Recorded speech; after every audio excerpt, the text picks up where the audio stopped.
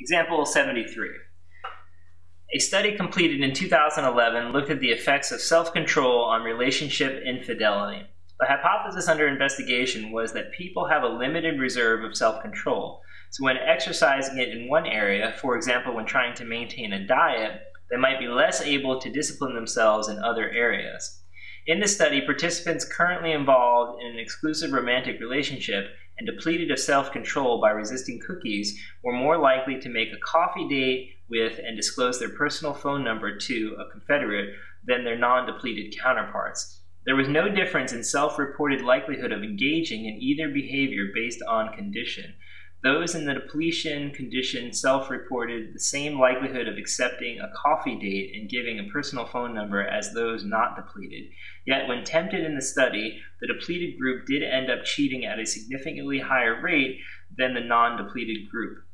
The depleted group accepted an invitation to go on a date and gave out their number in 74% of the cases versus only 31% for the not depleted group. Using the 74% from the study as the rate of infidelity, find the mean and standard deviation for the number of people in a committed relationship out of a group of 49 that would commit infidelity while in a depleted state. Would it be unusual for less than 26 people in the group to be unfaithful? Okay, so it's kind of a long paragraph, but very interesting research, right? So what the problem asked us to do is actually three things. It says find the mean and the standard deviation, so that's two of them, and then answer this question if it would be unusual for less than 26 people in the group to be unfaithful. Okay, so let's start with the layout of the problem. I believe it's binomial, right? And the reason why is because there's clearly a fixed number of trials. We're going to be looking at 49 people, right? Secondly, there's going to be either success or failure. Either the person is unfaithful or they're not, right? And then we're going to end up having, you know, a constant probability of success in the problem if they're estimating that rate to be 74%. And then finally, the trial should be independent because if one individual randomly chosen is going to cheat, that shouldn't affect the likelihood of another person cheating, assuming that everything is done in a way where they're not able to influence each other's behavior. Okay, so let's conclude that it's a binomial scenario. And if it's a binomial scenario, the mean for the binomial distribution is pretty simple. It's just n times p. The standard deviation is also pretty simple. It's basically the square root of n times p times q. So if we put those together then, what we need to do is figure out what the n is in the problem, what the p is in the problem, and what the q is in the problem. All right, well, let's figure that out. There are 49 people we're going to be looking at, so that's your n. It's your number of trials, right? We'll look at 49 separate cases the probability or likelihood that they're unfaithful, it says we should use the 74% from the study. So we're going to use 0.74. And then what's left over? Well, it would be 26%, right? So 74% cheated, 26% did not. Remember, these are complementary. It's 1 minus p to get q. Once you have those values, you can plug them in for the mean.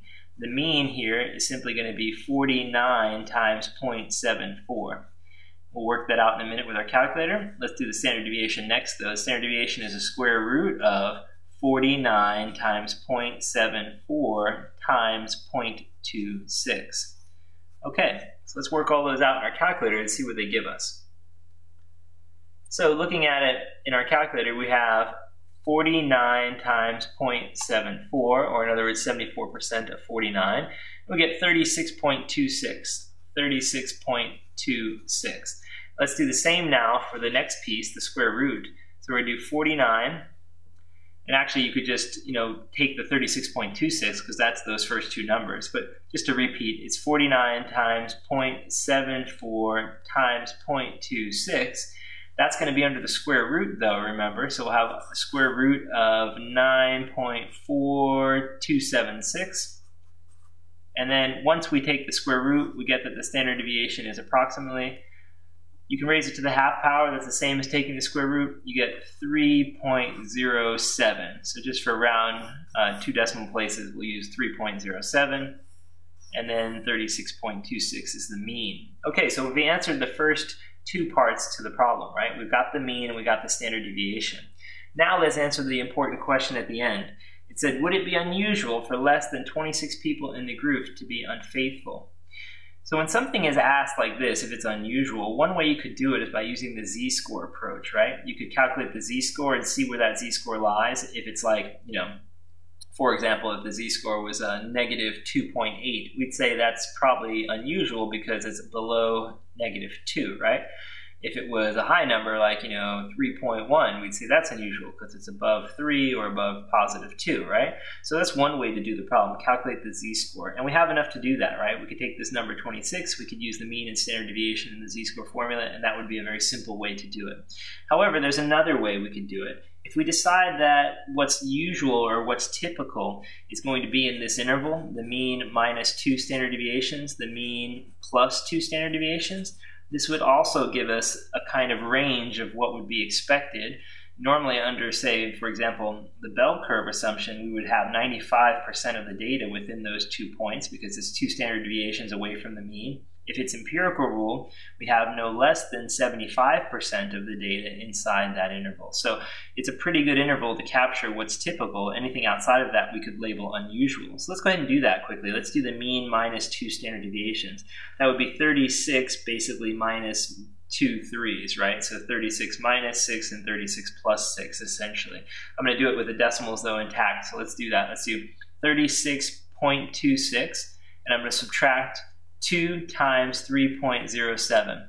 And when I do that, I get 30.12. And if I do it again, but this time I add two standard deviations to the mean, if I add two standard deviations, I get 42.4. Now, we're saying that that interval there should capture no less than 75% of the cases. So if something's outside of that, we'll label it as unusual, let's say. So in this case, would it be unusual for less than 26 people in the group to be unfaithful? I would say yes, right? Because this lower limit is only 30. 26 is somewhere outside of that, right? So 26 falls over here. So we're going to say yes, that would be an unusual value. So let's go ahead and say yes, it is unusual. So it is unusual because 26 is not in the interval period. And that's the end of the problem. So we calculated the mean, we calculated the standard deviation, and we answered the question, is 26 unusual? Go ahead and check your z-score and see what that gives you. If you plug in the mean and standard deviation and this number into your z-score formula, see what it gives you. It's going to give you a z-score that's under negative 2 because this number is below two standard deviations from the mean.